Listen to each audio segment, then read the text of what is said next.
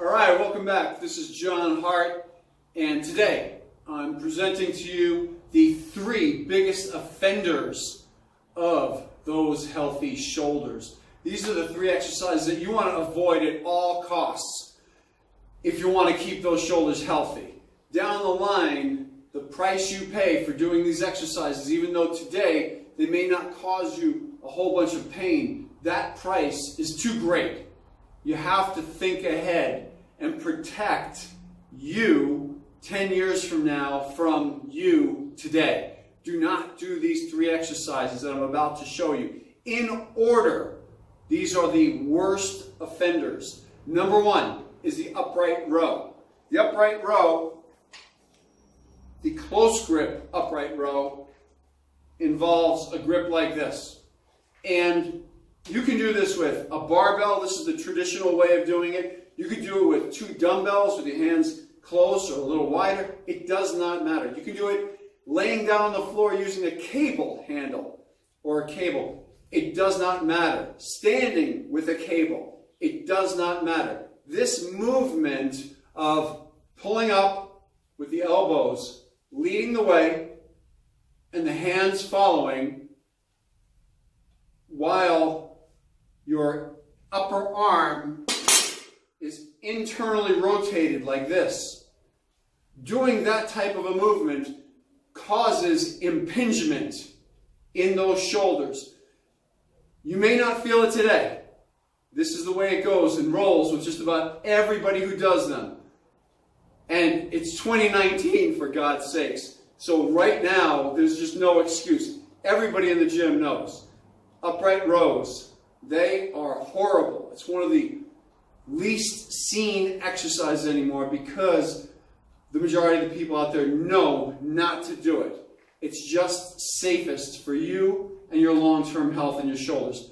So, upright rows of any type, standing, laying down, on your back, with a cable, with dumbbells, with a barbell, does not matter. Close grip, wide grip, they all suck and are bad for your shoulders.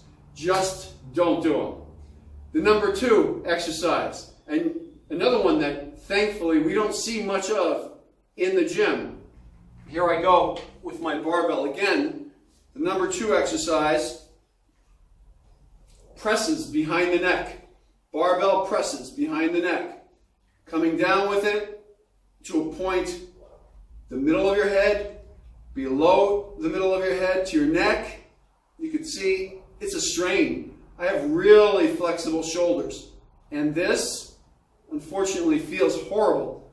And I'm having to uncomfortably push my neck forward and out of the way of the barbell coming down. Those presses behind the neck, that one movement, again, presses behind the neck, externally rotating, rotating your arms way back like this, and then pressing up. There is no advantage to your shoulder development. There's no advantage at all. If anything, it puts your spine, your cervicals, and your thoracic area in a odd, straightened position. Very, very odd and uncomfortable. Anatomically horrible for you.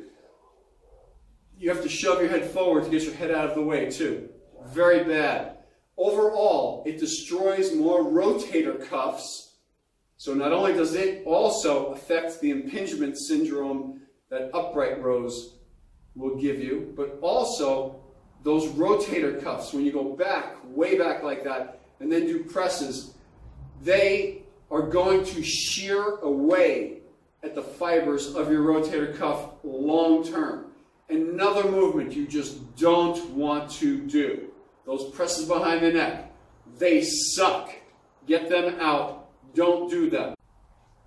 And the third most obnoxious exercise that does destroy shoulders. It may not seem like this is such a big, big deal, but bench presses and incline presses, decline presses, any kind of press for your chest. Okay, I'm going to use a broomstick here to illustrate what I'm talking about. Any one of your pressing motions, when you have a grip such as this, and the bar comes down, and you have those elbows splayed out to the side like this. So you're way out like this with those elbows. And you press the weight back up again. You see it a lot in the gym. You see it with dumbbells, individually with dumbbells. The dumbbells come down and they have them way out here like this with the elbows far away from your side. That one movement on those presses, over time, it will shear the roof of your humerus up in your shoulder joint.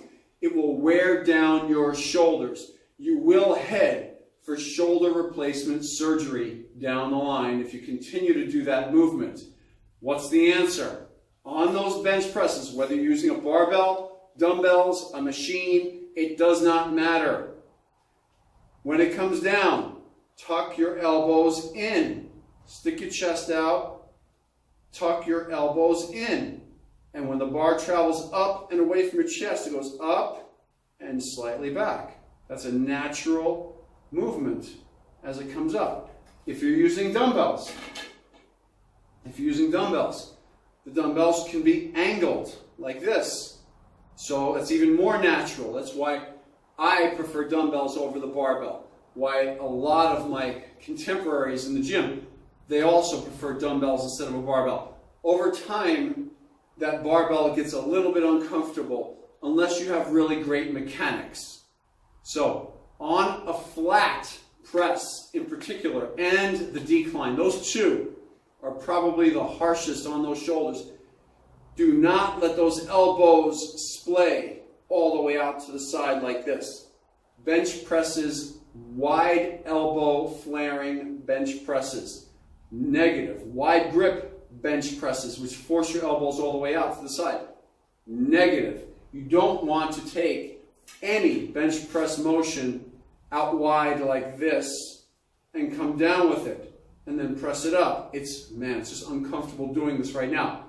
That one movement, everyone will tell you, old school bodybuilders will tell you, feels great on the pecs, stretches the pecs, nice. It's true. Works the pecs, sure, it does. But boy, puts your shoulders at such an anatomical disadvantage and heads them for destruction. They suck. Don't do that exercise either. Okay? Wide grip bench presses. Elbows out to the side. Bench presses, dumbbell, barbell, or machine. Any one of those. Stay away from those. Keep the elbows tucked in close to your side at a 45 degree angle. So this is about 45 degrees from your side. This is 0, 45, 90. Avoid 90 at all costs. And those shoulders will stay healthy.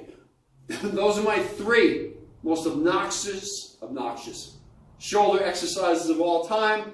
Avoid them at all costs. From my heart to you, John Heart, stay healthy and strong. Keep training hard all the days of your life.